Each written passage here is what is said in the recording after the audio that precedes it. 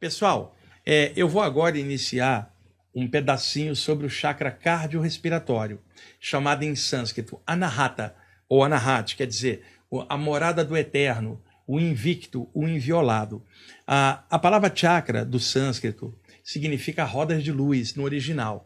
Aqui no Ocidente, normalmente aparece como centros de força, centros psíquicos, centros energéticos. A mesma coisa, mas predomina na literatura internacional ainda o nome original, chakra, que na pronúncia original seria tichakra, mas aqui no Brasil a gente chama chakra, rodas de luz, vórtices energéticos na aura, onde eu vou falar do vórtice na área peitoral, cardiorrespiratória.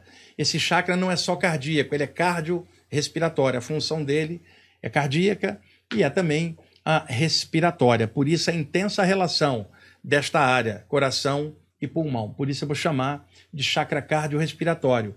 No original Anahat ou Anahata, invicto ou inviolado, mas tem outras traduções como câmara secreta do coração ou morada interna do espírito, são muitos nomes. Mas veja, é, para o hindu, o espírito vem e entra pelo topo da cabeça, pelo chakra coronário, chamado em sânscrito Sahasrara, e mergulha profundamente na câmara secreta do coração para vivenciar a vida carnal mais uma vez. Se perguntarmos para um ocidental onde está a consciência, ele vai falar cérebro. Perguntar um hindu, ele vai te falar coração. Se perguntar um Rosa Cruz, ele vai falar em todo o corpo, da cabeça aos pés, dentro de cada célula, como um todo inteiriço energético. Então, são maneiras diferentes de falar de que habita a parte humana um princípio espiritual, o Atman, a parte sutil, o espírito, como vocês queiram chamar. E sua morada é a câmara secreta do coração.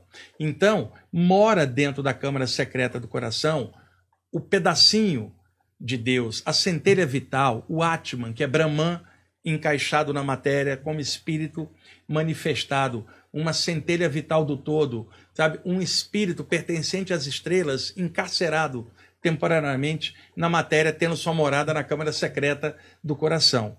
Esse espírito já existia antes, ele não nasceu, Eudes. Ele entrou no corpo em algum momento e lá na frente ele vai sair pela morte. Então, como dizia o Krishna para o Arjuna, no campo de batalha no Bhagavad Gita, dizia: O espírito não nasce nem morre, só entra e sai dos corpos perecíveis.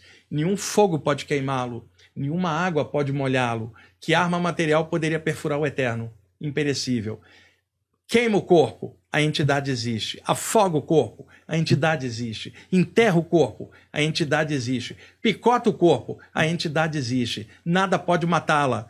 Ela não nasce nem morre, entra e sai. Ela é invicta, inviolada. E invicta anahata, em sânscrito. Por isso, eu o nome do chakra em sânscrito. Invicto, quer dizer, é o princípio eterno que mora aqui. Nada pode matá-lo. É o eterno. Daí anahata, invicto, inviolado, câmara secreta do coração, também às vezes chamado nada, que é o som sutil da alma dentro da câmara secreta do coração. Vamos chamar aqui o nome ocidentalizado para facilitar. Chakra cardíaco ou chakra cardio respiratório. É o nosso canal de sentimento maior na área peitoral. Para vocês que trabalham é, é, passando energia com as mãos, suas mãos estão nos braços que estão encaixados no tronco, sob a ação do chakra cardiorrespiratório. Todas as pessoas que trabalham com cura, exteriorizando energia pelas mãos, fazem isso por amor. Aquelas responsáveis, é claro, com grande amor. Amor é chakra cardíaco, é o que flui nas suas mãos. Comando mental sai da mente, mas o sentimento vem do coração e brota nas mãos. Isso é um estado de consciência de entrega de luz ou de canalizar amor a favor do outro através da irradiação das energias. Então, vocês que trabalham com cura, com amor, é o chakra cardíaco, o centro desta doação, desta maneira de se tornar um canal, seja pelo reiki, pela cura prânica, pelo passe à moda espírita, o passe à moda da Umbanda, o jorei da messiânica ou a imposição de mão de um católico. Não importa, tem amor, tem sentimento, está vindo do chakra cardio respiratório. Não é só técnica na mente, é entrega, é, é fluência, mais estado de consciência do que técnica quando se passa sentimento pelas mãos.